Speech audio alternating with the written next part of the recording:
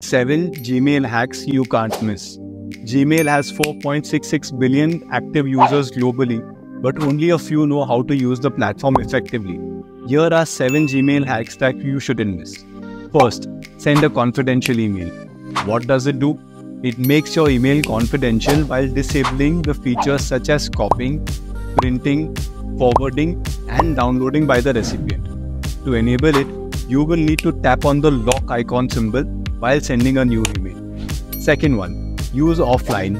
Gmail has a handy feature that lets you read and reply to emails when you're offline. However, you will need to turn it on with a few steps. First, go to Settings, then click on All Settings, followed by Offline. Once in the Offline tab, select Enable Offline Email. You can select various options of how you want your offline access to be set up before saving the changes. Third, snooze an email. Have an email that you don't need to deal with right now? Set a reminder for later. Click on the clock icon on the right. Choose how long you want to snooze the email. It will appear back in your inbox on that day. Fourth, undo that email you just sent. Ever had that sinking feeling right after you press the send button?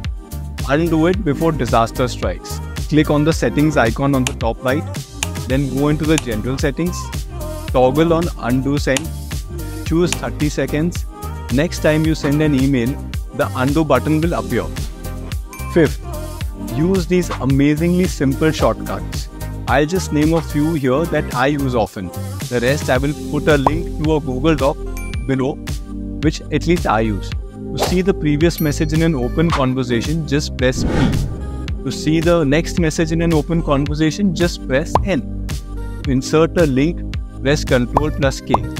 To open spelling suggestions, press Ctrl plus M. 6. Get rid of all the promotional emails. First, log into your Gmail account on a desktop or a laptop.